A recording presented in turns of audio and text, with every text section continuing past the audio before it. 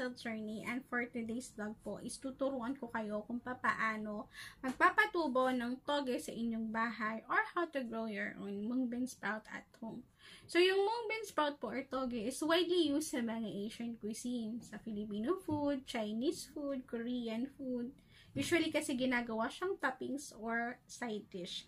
So, marami din naman po talaga siyang health benefits kasi nga po eh, it is rich in fiber, magnesium, and potassium. And it also helps to lower bad cholesterol. So, ayan po, madaling lang naman po siyang gawin. Kaso nga lang, it really takes time. Eka nga. So, ito nga po pala yung mga items na gagamitin natin para magpatubo ng toge sa bahay.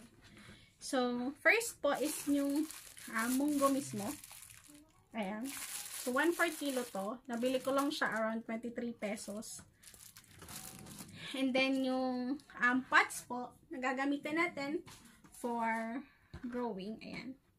So, if wala po kayong pots, pwede naman po nyong gamitin yung empty plastic bottle ng mga soft drinks, yung mga 1.5 or 2 liters, or kaya yung mga um, bote ng tubig, yung plastic bottle ng mga tubig. Ayan, lalagyan nyo lang po sila ng butas like this. Or hindi naman, pwede lang po, po hindi ganito kalalaki yung butas. Basta lalagyan nyo lang siya ng butas. Tapos po, um, plastic garbage, uh, garbage bags. Kasi i-cover natin siya habang nagpapatubo siya, nagpapatubo tayo ng toge. Or if wala po kayong ganito, pwede naman po yung ano, um, cloth na i-cover natin dun sa pots. Pero if gagamit po kayo ng mga plastic bottles, mas maganda po na na-cover yung lahat ng um, area ng plastic bottles. So, ayan po. So, um, panoorin nyo po hanggang dulo para po makita nyo yung process niya. So, ayan po, let's start. So, ayan guys, una natin gagawin. Isuhugasan natin yung munggo. Ayan.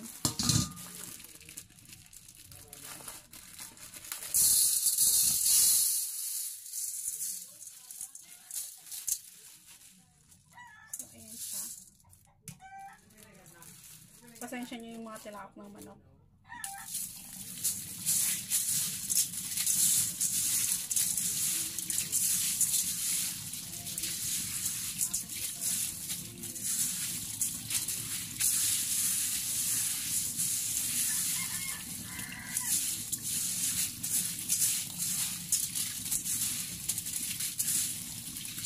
So, ayan. And then, sasali natin siya sa lalagyan, sa pot, ay sa isang bowl. Ayan. Kita niyo.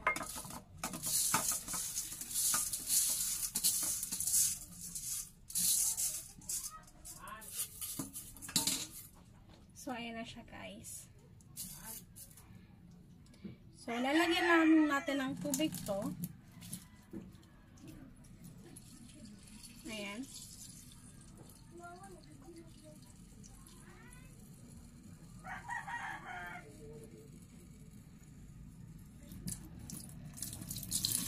So, ayan na siya.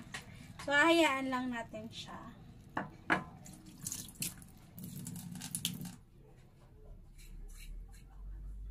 So, ayan na siya. Or mas maganda gamitin natin mas malaking tao. Kasi akala ko kunti lang talaga siya. Titingnan kanina ito. Sa mas malaking natin natin siya.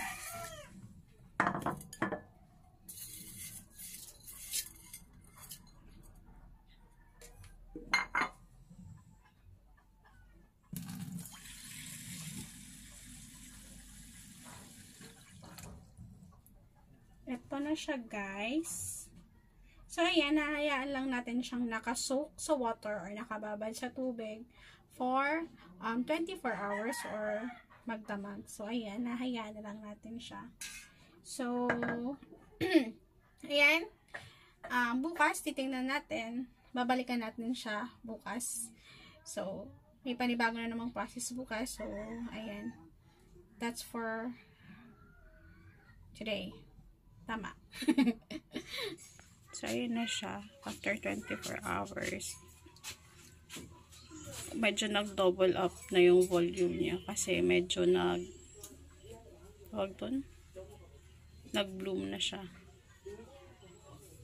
Ayan.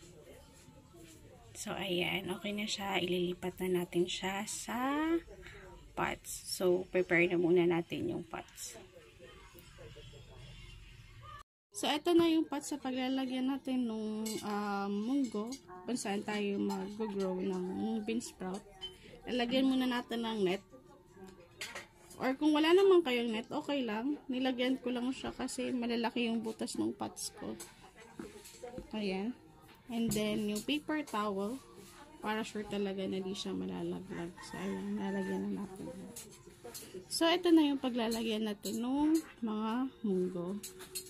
So, ayan. Lipat na natin yan dito. So, ito na yung munggo natin. Diba? Sinabi ko nag-double up siya. Ayan. So, strain lang natin. Dami.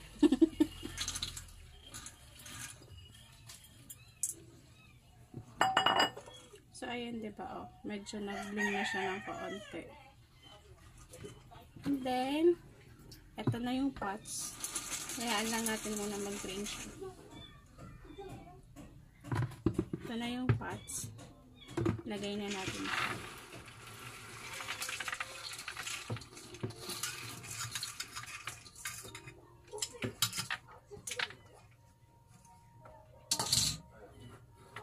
So, ayan na siya.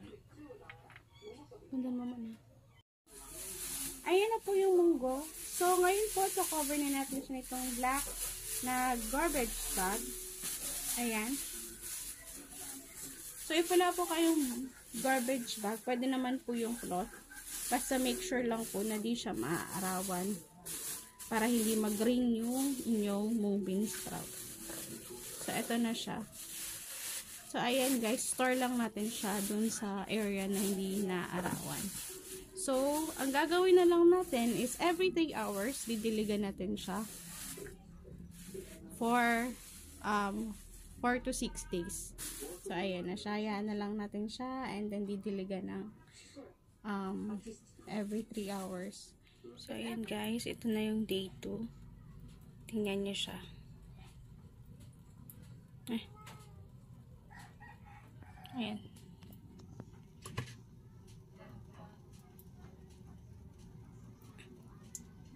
Kahit pa paano may buntot na. Ito na yung dito so i-water ulit natin siya.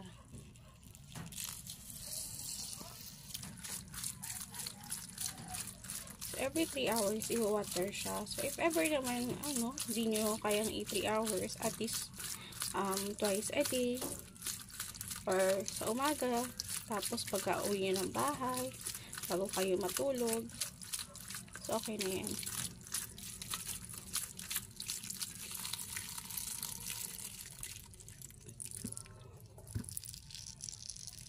Yan na siya yung second day nung tawge.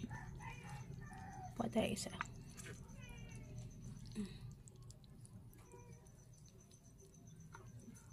So, bukas balikan natin ulit siya. So, ayan. Nasa day 3 na siya.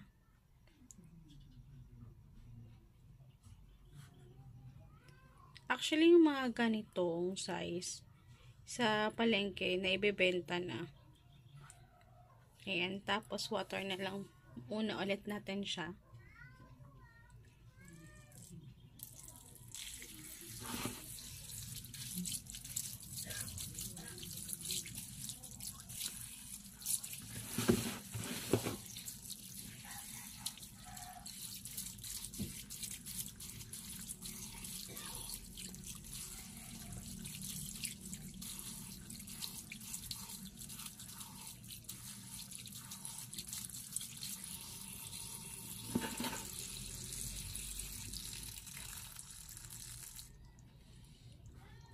Ah.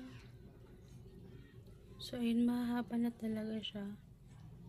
So, ayan, balikan natin siya bukas. Actually, pwede naman na siya. Pero if gusto niyo pa ng mas mahaba, ng mga stems. Um, bukas balikan natin. So, ayan guys, ito na yung day 4 niya. Tignan natin. Ayan, ang dami. Halos na puno na yung pots. So, pwede na natin siyang i-harvest. Pero kung gusto nyo mas mahaba, di kinabukasan na lang. Pero ngayon harvest ko na siya kasi mahaba na siya. Kumbaga, ito na yung gusto kong size. So, ayan. Lipat lang muna natin siya dito.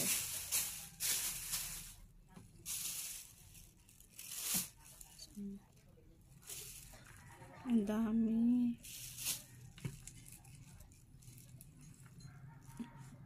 Isipin nyo yung 1-4 kilo. Ang daming nagawan.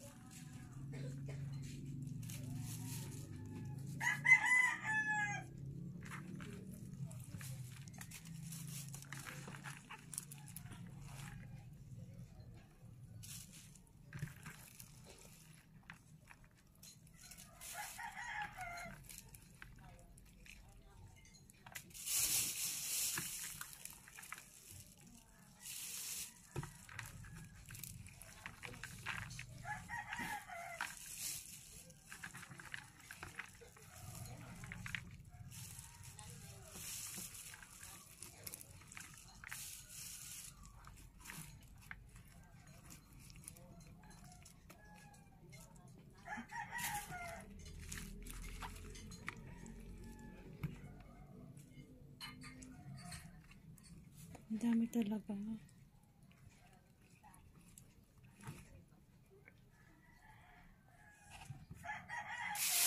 So, ito na siya lahat. Tignan nyo kung garano siya, kagano siya karami. Oh. 1-4 kilo lang yan. Tapos, timbangin natin para makita natin kung ilan yung nagawan. Ilang kilo na siya.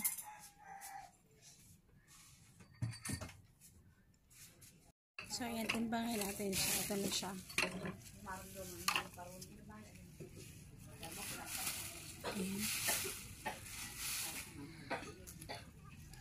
So, ayan guys, almost 2 kilos. Pwede nyo na siyang ibenta kung gusto nyo.